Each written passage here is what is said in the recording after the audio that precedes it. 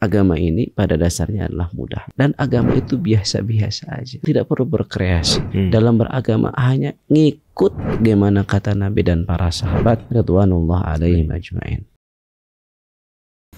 Sudah menjadi tradisi di setiap tahun di bulan Ramadan, selalu ada kegiatan bagi-bagi takjil saat menjelang berbuka puasa di jalan, seperti di lampu-lampu merah. Ada juga yang menggalang dana untuk memberikan donasi dan buka bersama kepada anak yatim dan kaum duafa. Perta- pertanyaannya, apakah kegiatan semacam itu diperbolehkan secara syariat? Dan apakah perbuatan tersebut masuk ke dalam perbuatan ria, di mana melakukan kebaikan secara terang-terangan dilihat oleh umum? Syukran jazakumullahu khairan. Eh, itu nanti di bahasan berikutnya ada bahasan tentang pahala eh, memberikan hidangan berbuka Ya. di mana eh, Nabi Shallallahu Alaihi Wasallam menjelaskan di antaranya adalah man fatara shaiman kana lahu mithlu ajrihi ghairu an la yan ghairu an la yanqusa min ajri as-saimi bahwa orang yang memberikan hidangan berbuka maka dia mendapatkan pahala seperti orang yang berpuasa. Jadi selain dia mendapatkan puasa dia berbuka, dia juga mendapatkan puasa orang yang berbuka ketika dia memberikan hidangan berbuka tentunya. Ini cara cerdas mendapatkan pahala di bulan Ramadan. Makanya sangat besar ya pahala memberikan hidangan berbuka. Apakah itu memberikan peluang ria bagi seseorang gitu. Jadi pertama dia harus niatkan lillah.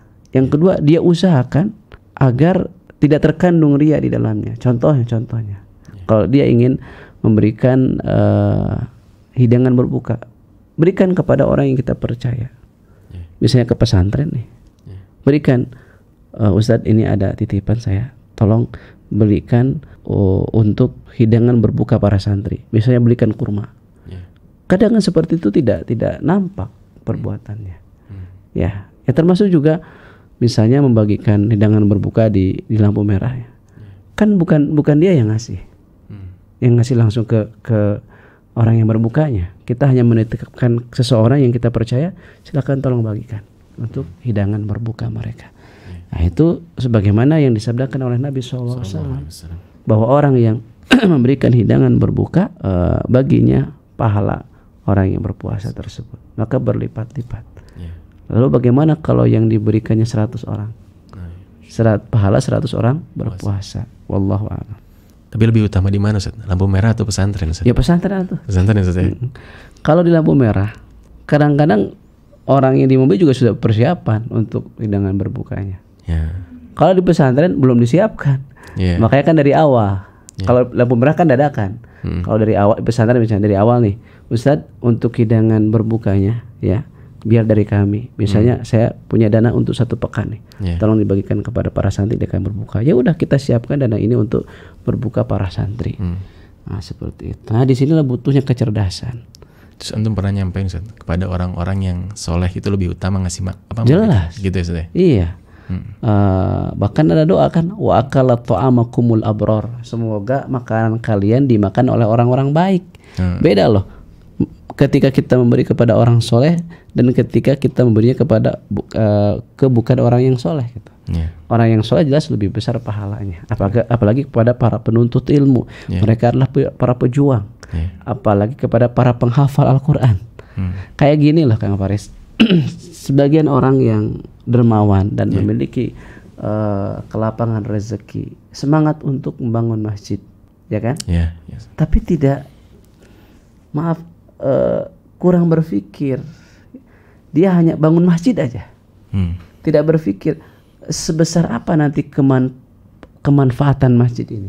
Ya. Sekarang bikin masjid nih, bikin masjid aja. Tapi eh, yang sholat cuma dua soft.